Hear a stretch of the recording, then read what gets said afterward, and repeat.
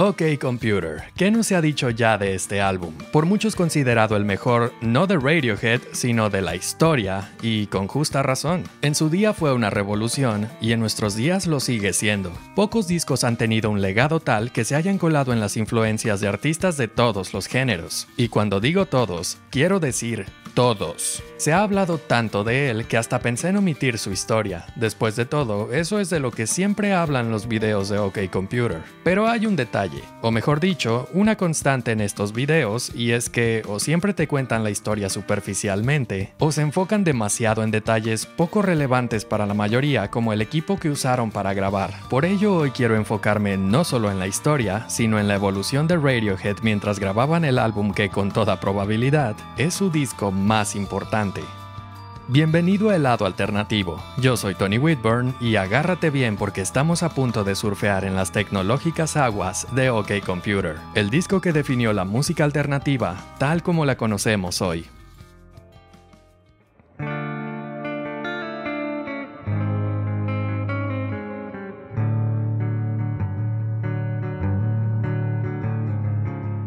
Yo siempre he dicho que hay cuatro discos que cambiaron el rumbo de la música. El primero fue Sgt. Peppers, que demostró la importancia del álbum conceptual y desarrolló nuevas técnicas de grabación. El segundo fue The Dark Side of the Moon, que dobló la apuesta en todo lo que Sgt. Peppers fue pionero. El tercero fue Nevermind, que desató una revolución cultural cuando el mundo más la necesitaba. Y por último, OK Computer, que logró el equilibrio perfecto entre el pasado, el presente y el futuro de la música. Absolutamente todo en este disco suena temporal, pero también futurista. Y mira que para entonces artistas como Björk ya estaban pisando fuerte en este campo. De ella hablaremos en su momento, pero algo que cabe mencionar es que Björk quizá fue demasiado adelantada para su tiempo, mientras que Radiohead estuvo en el momento correcto, en el lugar correcto, con el sonido correcto. No trato de comparar uno con otro, sino dejar claro que mientras Björk veía hacia el futuro, Radiohead no buscaba nada, a excepción de expresar lo que sentían. OK Computer siempre ha tenido un sonido muy liminal y aislado que captura perfectamente el zeitgeist de finales de los 90.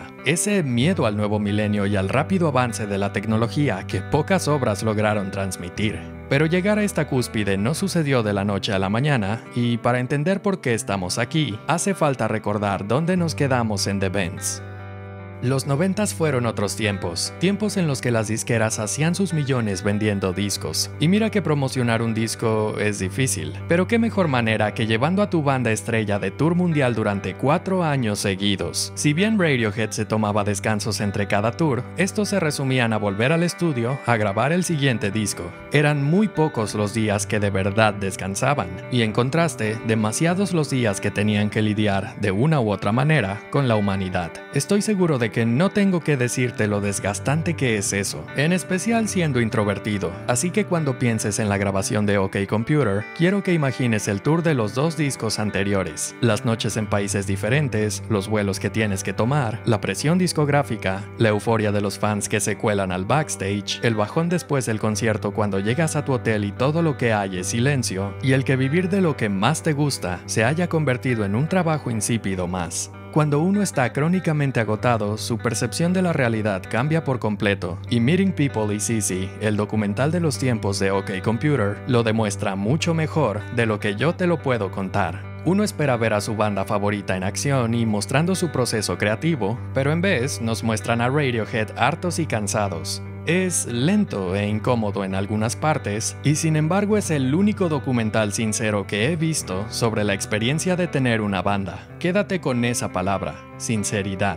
Volviendo a la historia, a mediados del 96, Radiohead concluyó el tour de The Benz y la disquera empezó a preguntarles como siempre cuándo lanzarían su nuevo material. Como ya dije, cuando acababan un tour se metían al estudio a grabar lo que seguía, pero algo interesante también pasó aquí, y es que a veces, cuando has estado cansado por el tiempo suficiente, pero aún así no paras, tu cuerpo recibe una nueva dosis de adrenalina y empiezas a sentirte Bien, imagina cinco personas entrando al estudio con este estado de ánimo, todos tan cansados que ya ni siquiera están cansados, sino más bien creativos. Durante esas sesiones en el 96, Radiohead grabó un par de demos, pero ninguno los terminó de convencer. A pesar del influjo de creatividad, el cuerpo no daba para más. Así que en septiembre del 96 nuevamente se fueron de tour y en el camino Tom tuvo una epifanía. Empezó a escribir frases como de cansancio, luego las juntó y más tarde las llamó The Tourist. En noviembre de ese mismo año, los cinco volvieron a Inglaterra y le dijeron a su amigo Nigel Godrich que querían grabar su próximo disco apartados de la ciudad y producirlo ellos mismos. Nigel, que había sido el observador externo de la banda durante los tiempos de The Bends, sabía exactamente lo que necesitaban, así que rentó la mansión de una actriz y la convirtió en estudio durante un par de meses para que Radiohead pudieran grabar, dormir y vivir allí. A todos les encantó la idea, especialmente a Tom, y fue tanto así que casi todas las canciones las grabó en la primera toma. No solo él, Ed O'Brien también cuenta que se sentía mucho mejor y era capaz de hacer las cosas a la primera. Johnny se dedicó a experimentar con nuevos instrumentos como el Temerin y a componer arreglos orquestales por primera vez. Este fue el principio del Johnny que conocemos hoy. Philip estaba encantado de poder grabar a la hora que quisiera sin la presión de un estudio y Colin estaba de acuerdo con él, además de que aquí se adentró a nuevos géneros como el dub, una variante del reggae con ritmos quebrados y a la cual le debemos la línea de bajo de Airbag. Incluso cuando las cosas parecían llegar a un punto muerto, tenían a Nigel que los guiaba de vuelta al camino. OK Computer e In Rainbows son los discos con más química entre la banda y los únicos donde se siente que todos aportan por igual. Adoro a Radiohead, pero me estaría mintiendo a mí mismo si no digo que a veces otros discos son demasiado acústicos o demasiado electrónicos y se pierde la importancia de algunos miembros. Pero aquí sucede todo lo contrario. El balance entre los cinco es impecable y no hay una sola capa del disco que pase desapercibida. A pesar de estar lleno de matices, la grabación de OK Computer fue tan sencilla que casi no se necesitó agregar capas a la mezcla, solo los arreglos de cuerdas en Climbing Up the Walls y uno que otro detalle en las demás. Oh, y este también fue el disco que menos miró hacia el pasado. A diferencia de sus predecesores, en OK Computer casi no hay canciones de eras anteriores. Las más viejas son Airbag, Let Down y Lucky, todas de finales del 95, pero ninguna el material de otro álbum o al menos no de álbumes de Radiohead. Y cinco meses fue también el tiempo que le tomó a Radiohead grabar las 23 canciones que acabarían siendo OK Computer y sus B-sides. Las sesiones habían sido un éxito, y todos, incluido Nigel, estaban satisfechos con el resultado. Bueno, todos excepto adivina quién. Exacto, la disquera. Cuando en EMI Records escucharon el máster de OK Computer, lo primero que le preguntaron a la banda fue, ¿y cómo se supone que vamos a promocionar esto? The Benz había sido un éxito y EMI creía que fue por su sonido accesible, así que esperaban que Radiohead repitiera la fórmula, pero fallaron en ver que lo que hizo grande a The Benz fue su sinceridad, mezclada con su creciente complejidad, de hecho. Este disco ya sonaba a Radiohead y cuando presentaron OK Computer, lo hicieron como una genuina evolución de dicho sonido. Pero la disquera falló en ver esto y les dijeron que su disco era demasiado raro para ser comercial, que escogieran tres sencillos y ya verían cómo sacarles jugo. Imagina ser hoy en día el ejecutivo que le dijo a Radiohead que OK Computer no iba a vender más de 100.000 unidades. Imagina de qué color le habrán quedado los calzones cuando el disco vendió un millón y medio en Reino Unido, 2 millones en Estados Unidos y 3 millones en Europa. OK Computer se cargó en ventas a The Benz y Pablo Honey puestos juntos y nadie, absolutamente nadie, ni siquiera la banda, se esperó que fuera así. Llegó un punto en el que la demanda de OK Computer fue tan grande que había lista de espera en las tiendas para conseguir una copia. Nah, no es cierto, pero por un momento te lo creíste, ¿verdad? Así de grande es el legado de este disco que cualquier leyenda al respecto parece verdadera. OK Computer, aparte de su aura liminal, siempre ha tenido un aura de misterio, como de música sacada de otra dimensión que unos viajeros del tiempo vinieron a dejar en la nuestra, la clase de disco que solo se ve una vez cada generación y sientes que te habla de manera personal, en especial si compartes la personalidad o las fobias de Tom, y solo basta escuchar la primera canción para saberlo.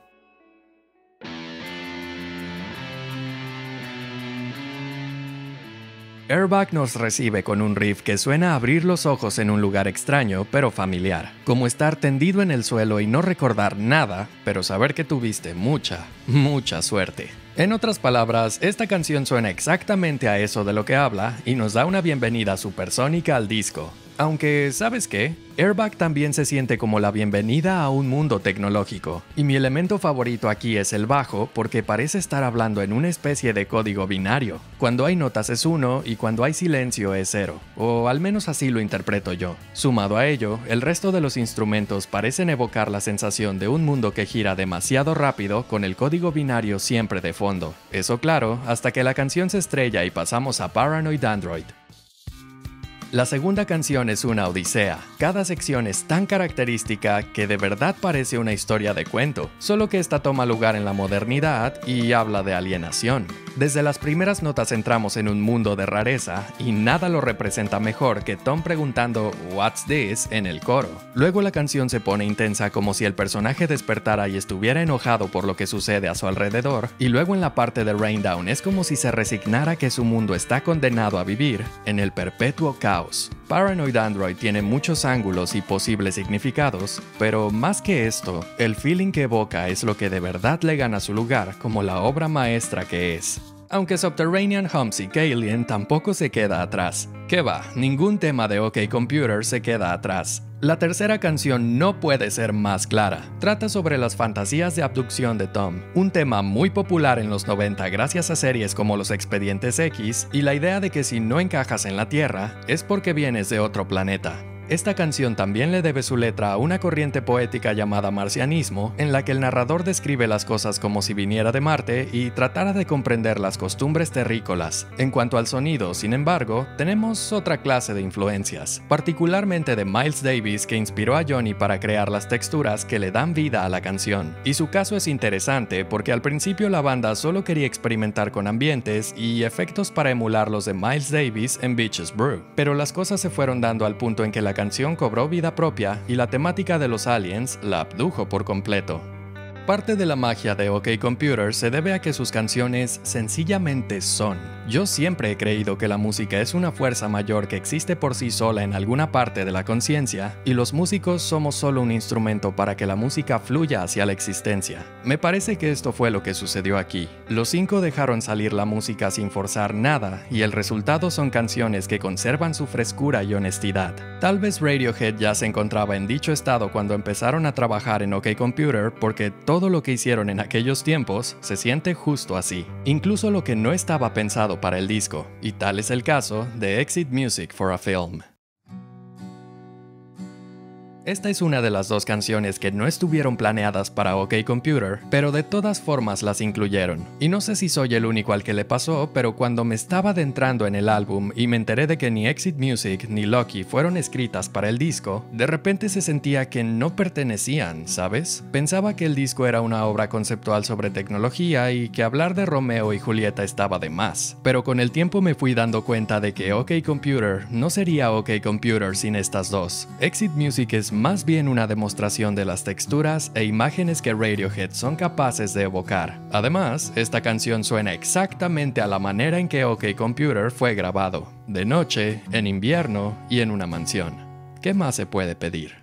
Eso sí, Let Down es una vuelta a la fórmula, pero sobre todo a ese feeling de que la vida va demasiado rápido y no se detiene por nadie. Creo firmemente que uno no puede comprender el mensaje de esta canción hasta que se da cuenta de que vive en esa realidad, tomando el metro 6 de los 7 días para llegar al trabajo, saliendo a beber cada semana con tus amigos, preguntarte si esto es todo y sentirte pequeño y decepcionado. Si vives en una gran ciudad, no me dejarás mentir. Esa es la vida diaria y Radiohead lo plasma de una forma tan vívida que da miedo. Por eso es tan irónico que Let Down también esté llena de esperanza. Su letra es pesimista, sí, pero llega un momento en el que Tom despierta, se da cuenta de todo lo que está mal a su alrededor y piensa que puede ser mejor. De allí la frase I am gonna grow wings. Además, Let Down te arropa como ninguna otra canción en OK Computer. Muchos asocian No Surprises como la canción de cuna de Radiohead, pero Let Down también suena como una. De hecho, es como si esta canción fuera la primera parte y No Surprises la segunda. Ya hablaremos de eso. Por lo mientras, cabe decir que el sentimiento agridulce de Let Down es un punto alto en OK Computer, un oasis de optimismo en un desierto de decepción.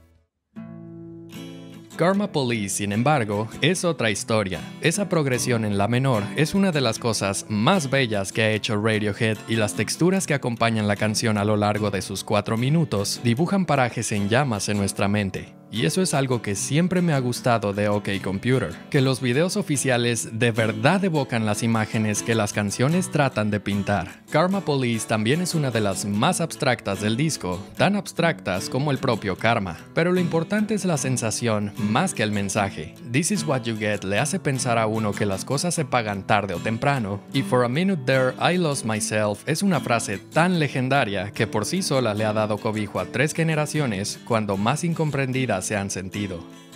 Yo siempre he dicho que Karma Police es una canción para el final, de esas que uno escucha en su lecho de muerte y muere satisfecho. Quizá Radiohead pensara lo mismo y por eso decidieron poner Fear Happier enseguida.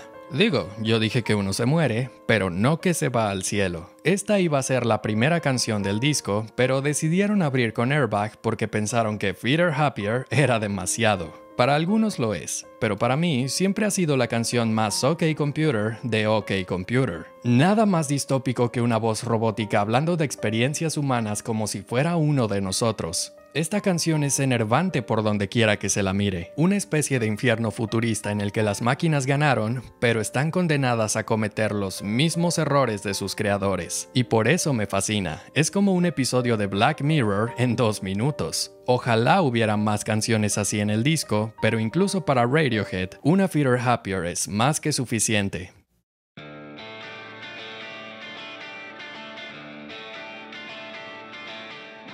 Electioneering es un cambio total ante la atmósfera futurista, pero no ante la distopía. Esta sin duda es la canción más directa de OK Computer y nos habla de lo pútrida que es la política, un giro bastante inesperado para la línea que hasta ahora predominaba en el disco. Es más, incluso el delicado balance de las texturas desaparece por un momento para dar paso a la distorsión. Esta es por mucho la canción más guitarrera de OK Computer y una inesperada inyección de energía. La siguiente canción, sin embargo, es otra giro de 180 grados.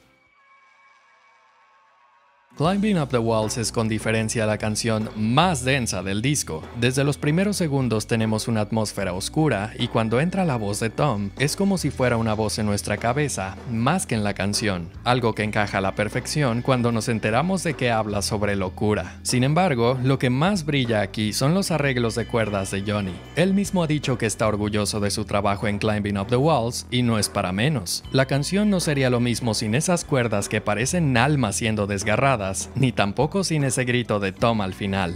Climbing up the walls es como visitar los abismos de tu propia mente y empatizar demasiado con lo que vive allí. Tanto quizá que cuando vuelves a la superficie, todo te parece más gris de lo que recordabas.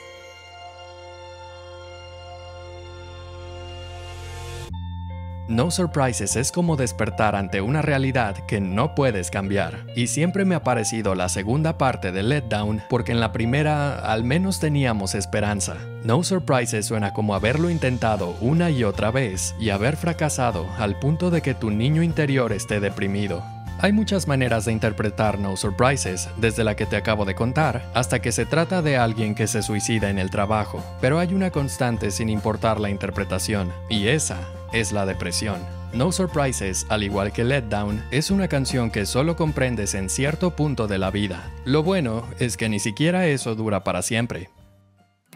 Lucky no fue compuesta para OK Computer. Fue grabada en el 95 para un álbum destinado a ayudar huérfanos de guerra, pero si terminó en el disco fue por una razón. Y creo que dicha razón es que los cinco se dieron cuenta de que OK Computer empezaba a tomar cierta narrativa que llegó a su punto más bajo en No Surprises. Loki, a pesar de que suena fatalista también, se siente como una canción para contemplar y reevaluar la vida de uno, como detenerte un momento y ver exactamente en dónde estás parado. Tal vez sea esta la suerte a la que se refieren, o tal vez no, pero siempre me ha gustado interpretarla así porque es el punto perfecto de entrada para la última canción.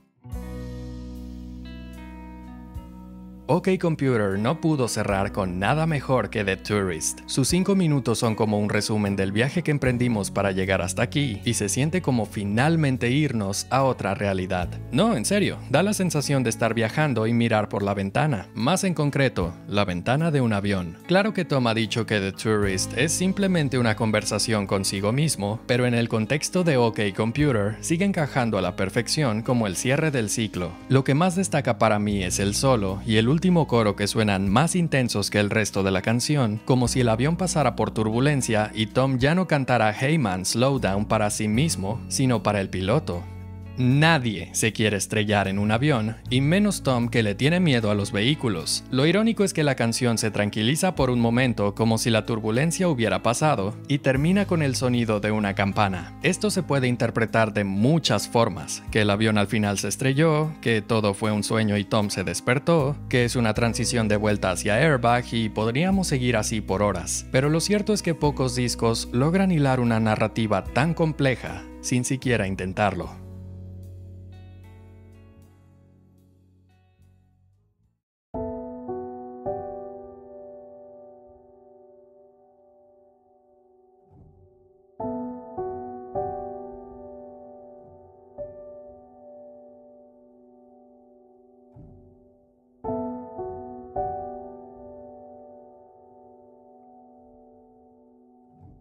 OK Computer no es un álbum conceptual y Radiohead lo ha negado en repetidas ocasiones, pero eso no impidió que los fans sacaran sus propias teorías. Y es que OK Computer es así de fascinante, uno de los pocos discos que marcó tan profundamente al mundo que hoy en día se sigue hablando de él como si hubiera salido ayer. Su existencia fue la culminación de muchas cosas, entre ellas Radiohead estando en el lugar y momento correctos, con la mentalidad adecuada y la experiencia necesaria, pero sobre todo fue el resultado de un mundo que cambiaba demasiado rápido. Los 90 fueron el último pedazo del siglo que cambió a la humanidad para siempre, y por eso el futuro era más aterrador que nunca. El Internet poco a poco se colaba en nuestras vidas, una realidad alterna que para muchos se volvió la realidad, la manera definitiva de conectarnos, pero también de aislarnos de la experiencia humana. Millones de almas alienadas que encontraban su refugio en la red, de repente lo encontraban también en un disco que no pretendía ser un refugio, pero vaya que reflejaba el cambio que estaba por venir. OK Computer es una pintura abstracta de la humanidad moderna, la que ya no concibe la vida sin el Internet y paga el precio con una soledad autoimpuesta. Después de todo, cuando no hay nada allá afuera para ti, ¿qué razón tienes para salir si tu vida ya está dentro de una pantalla? Tom lo sabía en tiempos tan lejanos como la mitad de los 90, pero no estaba dispuesto a quedarse de brazos cruzados. Sabía el impacto que tuvo su disco y sabía que el nuevo milenio no podía ser como el anterior, que el año 2000 tenía que ser un borrón y cuenta nueva. Pero, ¿cómo? ¿Y qué clase de futuro le esperaba a una sociedad tan inmersa en sí misma y desconectada de sí al mismo tiempo? Bueno, sin duda uno mucho, mucho más distópico.